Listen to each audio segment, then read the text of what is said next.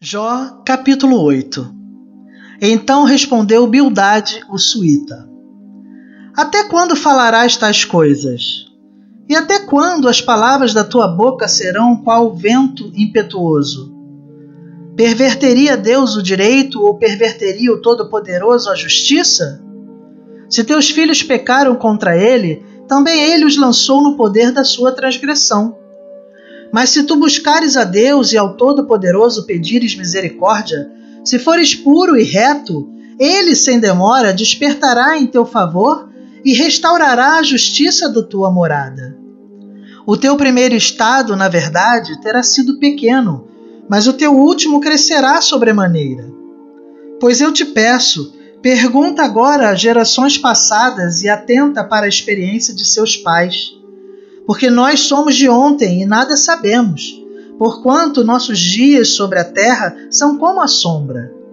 Porventura não te ensinarão os pais, não haverão de falar-te o do próprio entendimento, não proferirão essas palavras. Pode o papiro crescer sem lodo? Ou viça o junco sem água? Estando ainda na sua verdura e ainda não colhidos, todavia antes de qualquer outra erva se secam.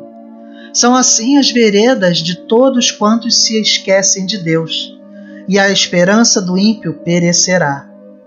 A sua firmeza será frustrada, e a sua confiança é teia de aranha. Encostar-se-á à sua casa, e ela não se manterá. Agarrar-se-á a ela, e ela não ficará de pé. Ele é viçoso perante o sol, e os seus renovos irrompem no seu jardim.